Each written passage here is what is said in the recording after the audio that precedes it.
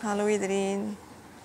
Ik uh, heb je, je, even meegenomen naar buiten, omdat we allemaal wel wat uh, uh, frisse lucht kunnen gebruiken en nieuwe wind in ons leven kunnen laten en mogen ehm, door ons leven laten waaien. Um, vandaag wil ik het met jullie hebben over onze mind. Hoe krachtig onze mind is. Hoe krachtig dat de emoties zijn. Zeker wanneer het gaat om het manifesteren van een uh, nieuw leven. Want um, niet alleen in mijn eigen uh, ontwikkeling en bewustwording, maar ook in die van mijn klanten natuurlijk en de mensen die om mij heen zijn, merk ik dat het lastigste en het meest uitdagende de mind is. Zeker wanneer dat de bewijzen in de realiteit, in onze 3D-wereld, eigenlijk het tegenovergestelde vertellen van wat dat we diep van binnen voelen. Ik ga een voorbeeld geven. Als je van binnen jou rijk en um, welvarend voelt, overvloedig voelt, want uh, dan gaat dat niet enkel alleen over geld, maar als je dat gevoel hebt en dan uh, kijk je op je bankrekening en dan zie je daar dat, uh, dat eigenlijk alles behalve dat overvloedige gevoel weerspiegelt, dan gaan we weer gaan twijfelen. Waardoor dat we meer kracht gaan geven aan onze realiteit en dus aan onze 3D-wereld. En niet meer aan onze 5D-wereld. Dus niet meer aan de emoties en aan het diepe gevoel van overvloed dat er eigenlijk altijd is. En daarnet zit nu de sleutel tot het veranderen van je leven en het veranderen van die realiteit. Waarin dat je um, tekorten ervaart. Wanneer, waar dat je ervaart dat je bijvoorbeeld alleen bent, dat je een relatie hebt bijvoorbeeld. Of wat dat er dan ook is, dat jij van voelt en ervaart. En ziet in je uiterlijke wereld dat iets er nog niet is, dat je wens er nog niet is. Maar als je mij al een tijdje volgt, dan weet je ook dat uh, eigenlijk alles in jouw realiteit een weerspiegeling is van hoe jij uh, omgaat met je innerlijke balans of disbalans.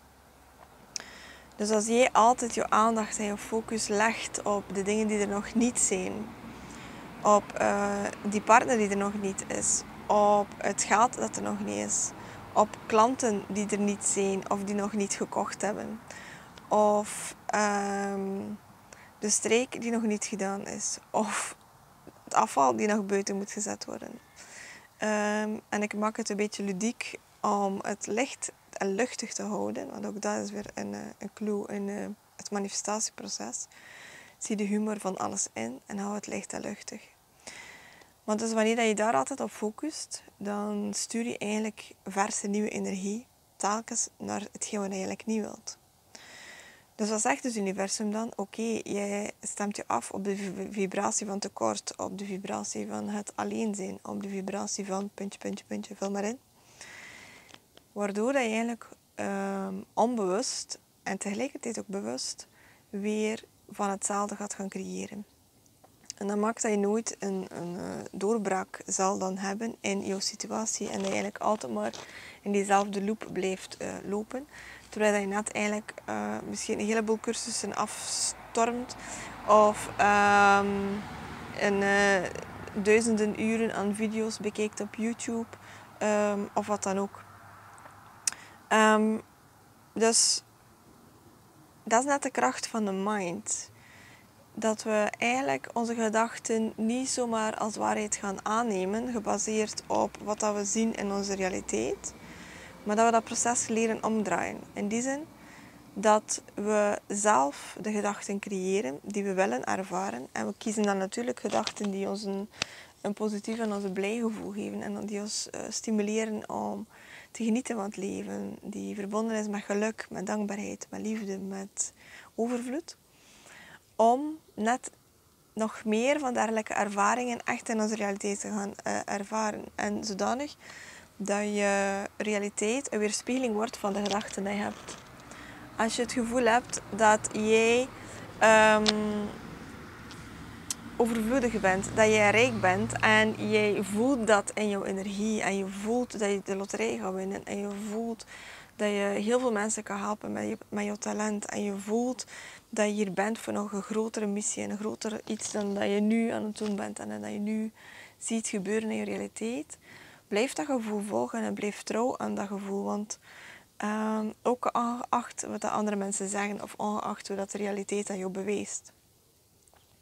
Want als je goed terugkijkt of gewoon de voorbeelden bekijkt van uh, visionairs, dan waren die in het begin ook al met hun idee en hun visie. En uh, ik ben er uh, zeker van dat heel veel van die pioniers ook zich vaak heel eenzaam hebben gevoeld. Uh, net omdat niemand hen gedachtegang begreep. Of net omdat uh, er waarschijnlijk wel honderden mensen zeiden van blijf realistisch. Dat zal je nooit lukken. Maar het is net die drive, die uh, innerlijke push dat ze voelden. Die mogelijkheden dat ze voelden. Um, en de mogelijkheid om hun eigen gedachten of de beperkingen of de ideeën van anderen aan de kant te schuiven. En enkel maar alleen te vertrouwen op die diepe emoties, die diepe uh, push, die drive, dat, dat, diepste verlangen. Um, alsof dat er niets anders mogelijk was dan die realiteit uiteindelijk um, aan te trekken. En dat is hoe dat manifestatie werkt. Jezelf eigenlijk overtuigen, jezelf een nieuw verhaal vertellen, totdat je het zelf gaat geloven. Ongeacht wat de anderen zeggen omdat wanneer je er eigenlijk gewoon vanuit gaat dat het zal gebeuren en zal verschijnen, dan laat je ook geen ruimte meer toe dat een andere realiteit waarin dat het niet zal gebeuren, dat het eigenlijk niet meer verschijnt. Dat, niet meer, um, dat jij het niet meer als realiteit zal ervaren. En dat is hoe dat we constant bij, met het maken van keuzes aan de hand van onze gedachten en zeker nog aan de emoties die eraan gekoppeld zijn, maar dat ga ik straks uitleggen, dat je telkens kiest op welke tijdslijn is het. Een tijdslijn van hoe dat je jouw leven gaat gaan um, manifesteren, hoe dat je jouw leven gaat gaan creëren, co-creëren met het universum. Dus dat is aan jou om te kiezen van welke realiteit wil ik ervaren, welke ervaringen wil ik nog meemaken, um, wat wil ik nog gaan doen in mijn leven. En het is niet omdat het nu niet is, in dit, dit nu, in dit moment, um, dat het daarom niet uh, straks hier kan zijn of dat het morgen hier niet kan zijn. En dat is wat ik merk um, over mijn eigen uh, manifestaties. Dat wanneer ik weet van oké, dat lijkt me niet zo onmogelijk en ik weet dat het wel ooit op mijn pad komt, dan hecht ik er eigenlijk weinig tot geen belang aan. In die zin hecht ik er weinig of geen belang aan omdat ik me geen zorgen maak. Ik koppel er geen negatieve emotie aan. Omdat ik weet dat het ooit wel zal komen. Morgen of volgende week of wanneer, dat maakt me niet uit. En dat maakt dat ik eh, ruimte creëer en eigenlijk mezelf uit de weg ga om het aan te trekken. En het om het in, op de meest moeiteloze, eenvoudige manier in mijn leven uh, te laten uh, komen. Maar wanneer we dus natuurlijk vanuit tekort en vanuit het is er nog niet en van hoe ga ik dat in godsnaam gaan bereiken, dan koppel je daar een hele zware emotie aan. En die zware emotie zorgt ervoor dat je jouw frequentie verlaagt, waardoor dat je in plaats van het aan te trekken eigenlijk afstoot en gewoon verder wegduwt in jouw, eh, in jouw toekomstlijn, op je tijdslijn. Dus heb je een, een, een, een wens, iets dat zo belangrijk is voor jou en dat je eigenlijk twijfelt en niet goed weet van hoe ga ik dat in godsnaam in, uh, in mijn leven uh, aantrekken, zet dan je intentie. Denk er 17, 20 seconden aan, visualiseer hoe dat zou zijn als je het hebt. Koppelt daar een hele, hele mooie emotie aan, zoals dankbaarheid, zoals uh, liefde, licht, um, vrolijkheid, um, het, van, het, het, het, gevoel dat je krijgt wanneer je iemand anders kan helpen. En laat dat dan los. En focus dan op hele kleine dingen waar je wel weet van oké, of dat nu vandaag is of morgen, maakt niet uit, het komt wel. Het komt wel in orde. En dat zorgt ervoor dat je um, je kracht niet weggeeft op een negatieve manier, maar dus dat je kracht en je energie op een positieve manier gebruikt om die verschuiving op een heel moeiteloze manier in je leven aan te trekken en teweeg te brengen. Dus ik denk en ik hoop dat je ondertussen uh, ziet en begrijpt dat jouw gedachten ehm,